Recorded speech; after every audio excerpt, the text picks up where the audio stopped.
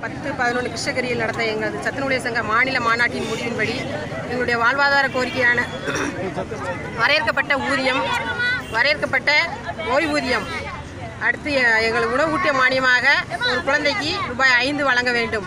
ஓய்வு பெறும் நாளில் சத்துணவு ஊழியர்களுக்கு ஐந்து லட்சமும் இப்போ சமையல் உதவியாளருக்கு மூன்று லட்சமும் வழங்க வேண்டும் என்று பல முறை இந்த அரசுக்கு நாங்கள் கோரிக்கை வைத்துள்ளோம். இதுவரை எங்களுக்கு சரியான முடிவை இந்த அரசு கூ- கூறவில்லை. அதாவது ரெண்டாயிரத்தி பதினொன்று தேர்தல் வாக்குறுதியாக முதலமைச்சர் ஜெயலலிதா அம்மா கூறியதின் அடிப்படையில் தான் எங்களுக்கு வாக்குறுதி கொடுத்து வாக்குகளை வாங்கி கொண்டு இன்றைக்கி ஆட்சி கட்டில் அமர்ந்திருக்கிறார்கள். ஆனால் எங்களுடைய வாழ்வாதார கோரிக்கையான எதுவுமே எங்களுக்கு நிறைவேற்றப்படவில்லை. ஆனால் அவர்களுக்கு மட்டும் வேண்டிய அளவில் ஊதியத்தை உயர்த்தி கொள்கிறார்கள் நினைத்த போதெல்லாம் இது மிகவும் கண்டிக்கத்தக்கது.